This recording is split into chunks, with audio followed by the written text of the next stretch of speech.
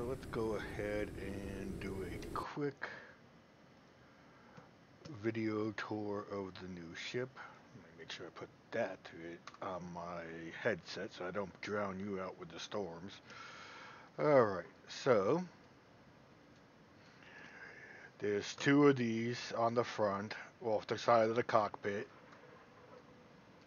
One off either side. It's more like a true Zeppelin where the first floor or what hangs below isn't really like for people to hang out in. It's more for work. And usually in a Zeppelin, like the uh, if there were passengers, the passengers would be up inside the balloon. So we can't build inside the balloon. So instead, I just made a floor up top that'll act as the inside of the balloon. So when you first come to the ship, you enter in here. Here's the cockpit. And let's go ahead and drag this thing back in. Alright, let's go inside. Here's the cockpit.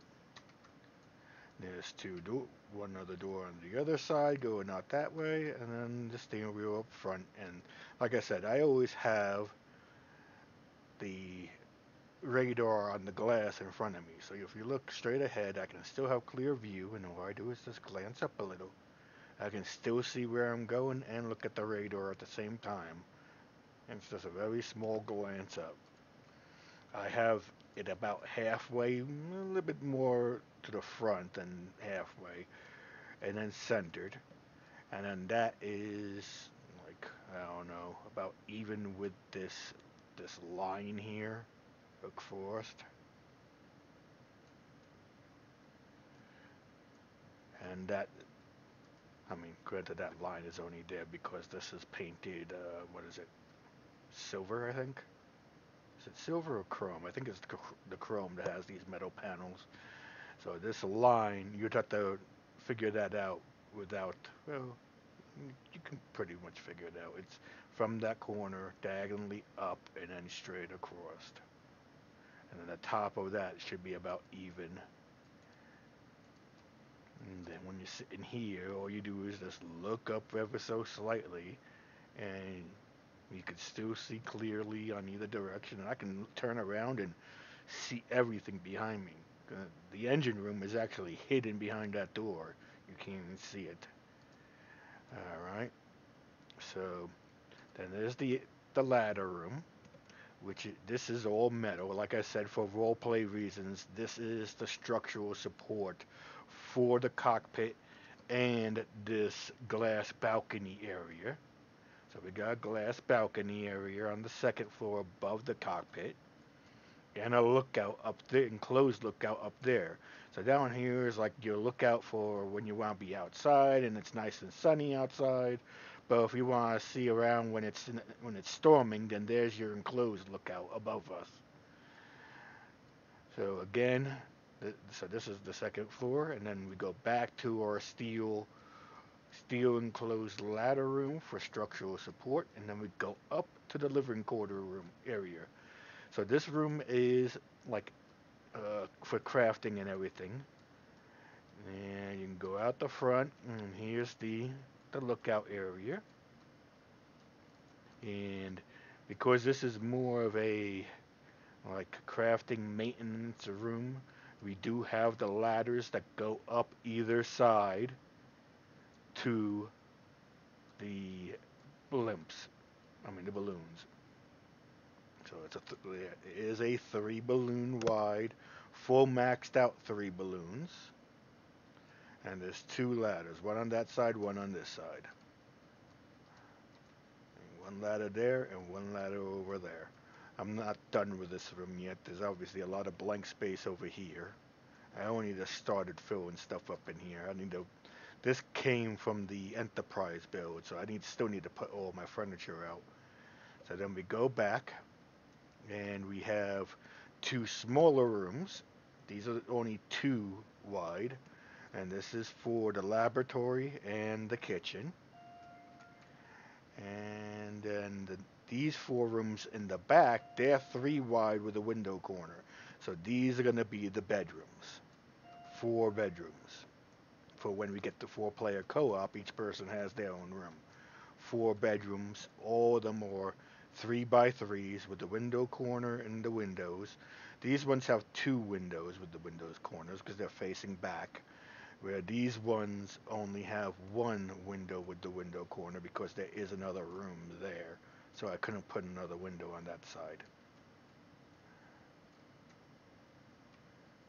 And then, so this leads back down to engineering, what I call engineering, which is the, uh, sorry, which is the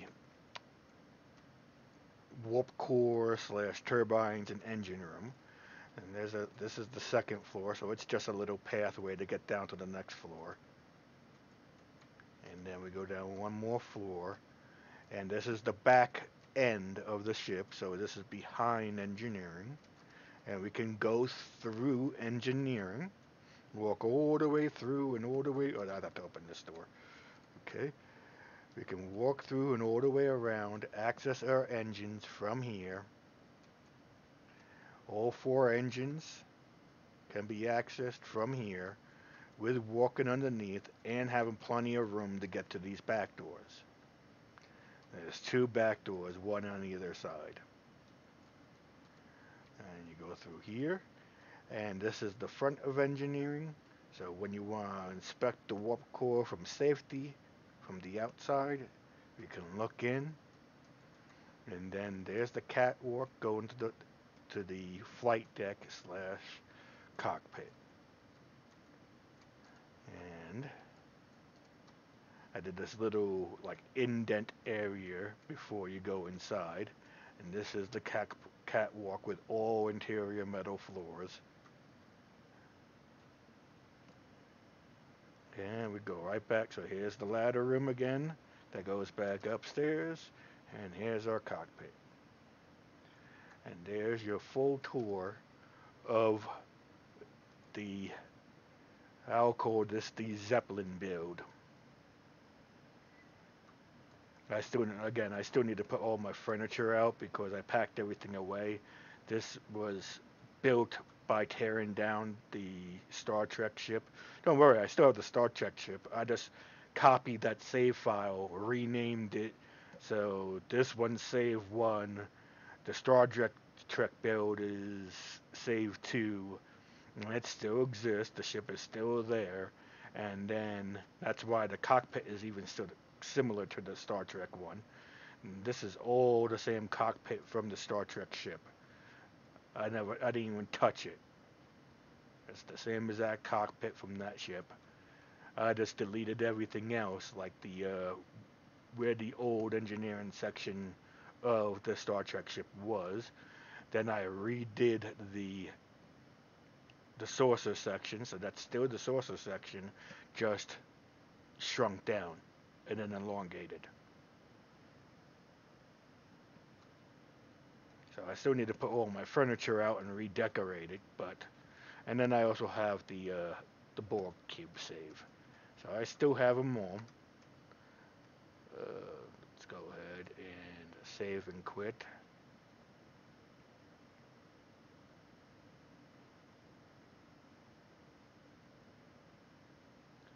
And play.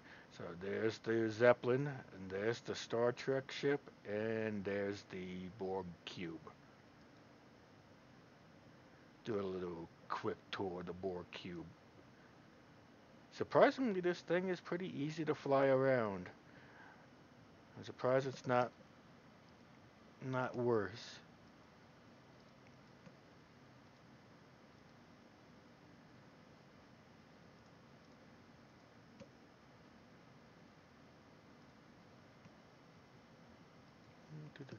Come on, load it.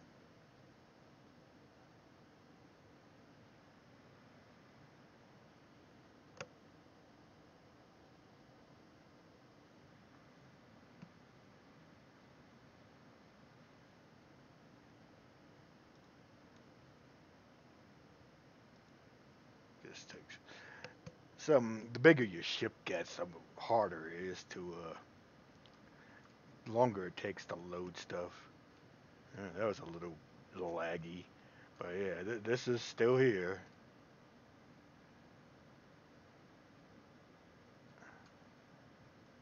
The Borg cube is still here.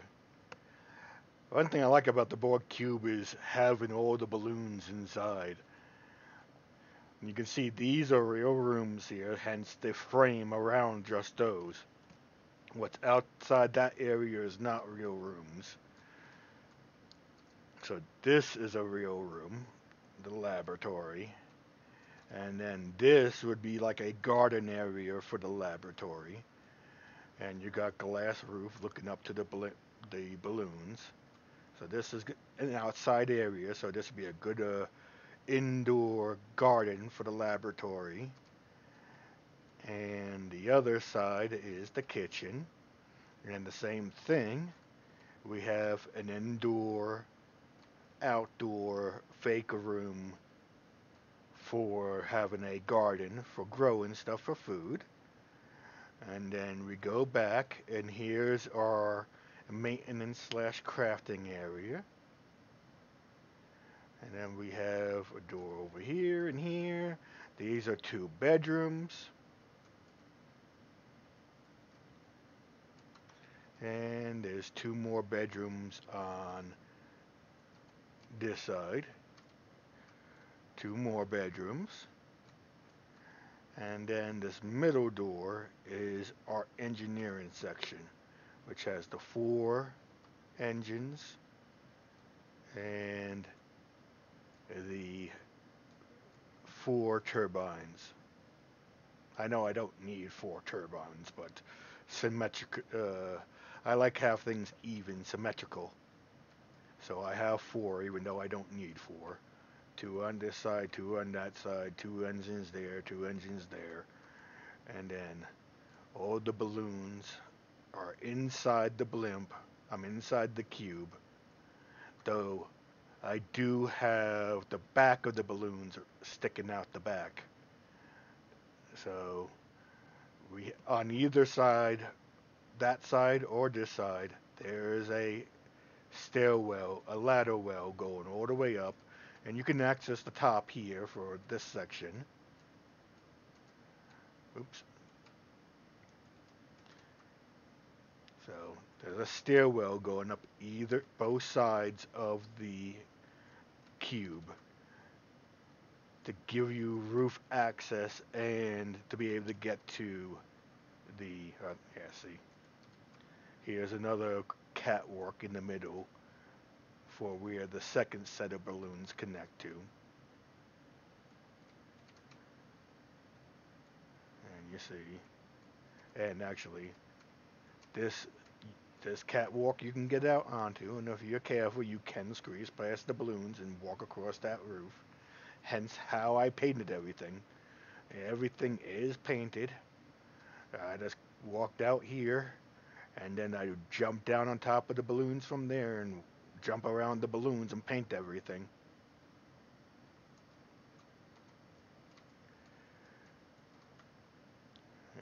Keep going up, keep going up. I? No, I am not at the top yet. So this is the very top of the inside. And then we go to the roof. Oh no, I wasn't at the very top. Here is the very top. So I could have done one more catwalk going across there too if I wanted. But that's just wasting weight. Up here I have my extractors. They are my phaser banks. I role play them as the phaser blanks. And it's just all nice and smooth and open up here. And the only place there are metal frames are just where the ladders come up. That's it. And like I said, the balloons stick out the back. But you'll never see that when you're flying around unless somebody was out unless there was multiple balloons and somebody was able to fly behind you you would never see this. Or you'd have to land the ship in a way to to allow yourself to see it. But to me it kind of looks like boosters sticking off the back of the ship. Kind of. If you use your imagination. Again, I use these extractors as if they're to act like roleplay phasers. These are the weapons to fight off the Federation. And, and there we are. Of course, I have my cheat program running, so let's take a flight. Whee! And down I go.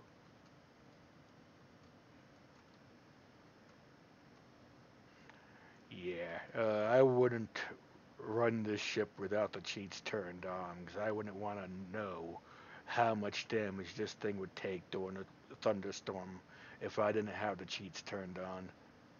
This thing would probably be all on fire right right now if I was in a thunderstorm. Uh, there's my ship. And you have a pretty good view. Not the greatest, I mean, but you have a pretty good view out the front. I leave that front door open so I can see. And I can fly it just like this. No problem.